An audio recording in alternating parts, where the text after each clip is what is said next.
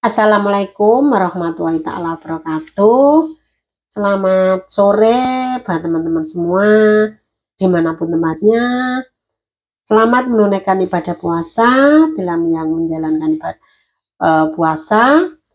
Semoga teman-teman semua sehat selalu, panjang umur, dimudahkan rezekinya, dimudahkan uh, urusannya, diberi kesuksesan, dilancarkan rezekinya, bila sakit segera sembuh dan kalau penyakitnya Oke lah teman-teman, video kali ini saya ingin berbagi resep cara membuat keripik keripik uh, pisang yang cepat dan um, renyah ya teman-teman. Tidak ini saya pakai dua lirang uh, pisang ya. Ini tadi habis ngambil di kebun dan saya siapkan air.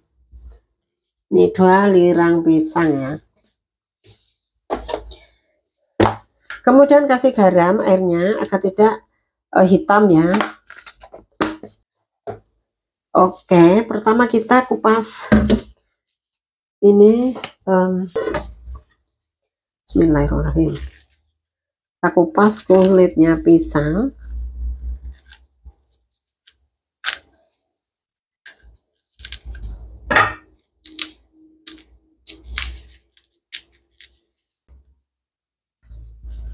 kemudian rendam ke air garam tadi.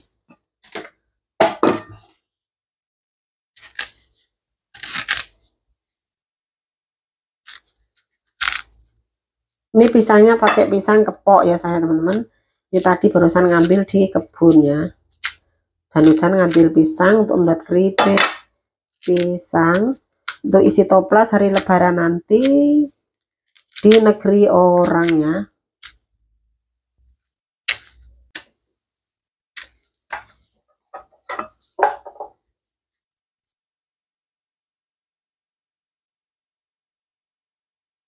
Okay.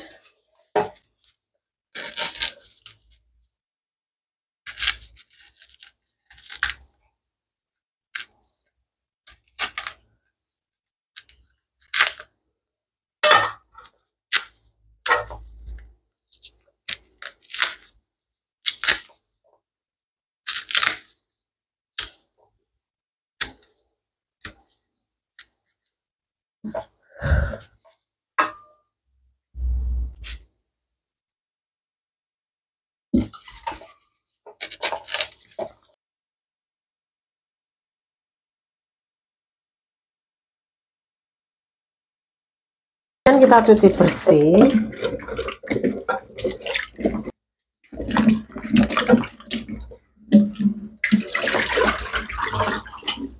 Dan tiriskan ya teman-teman. Oke mulai digoreng sisa minyak kemarin. Goreng kerupuk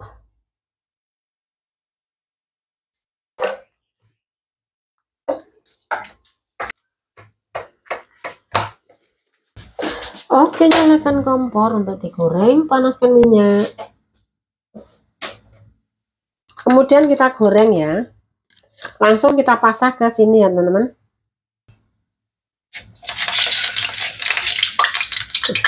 Kecilkan api. Yang besar.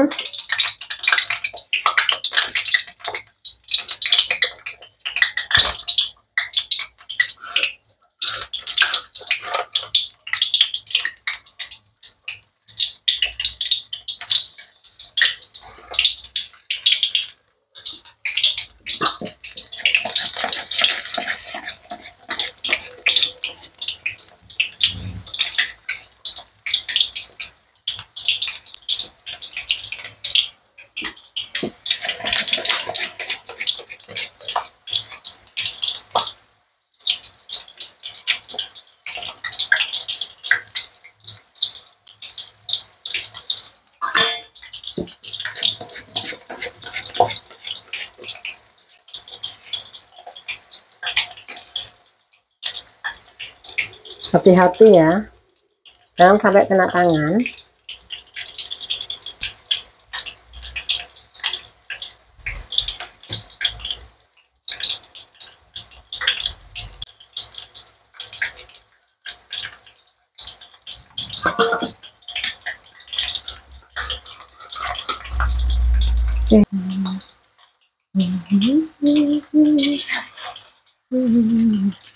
Kan?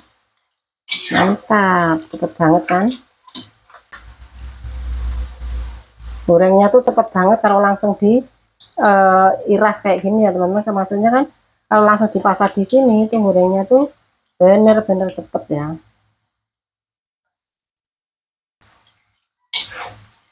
Ini mantap. Saya siapkan air dan saya kasih garam satu sendok setengah. Ini untuk uh, ini ya teman-teman. Nanti dikepiur-kepiurkan gitu ke situ ya. Nah seperti ini.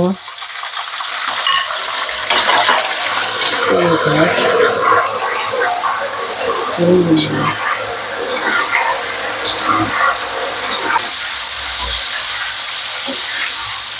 Oke kita angkat.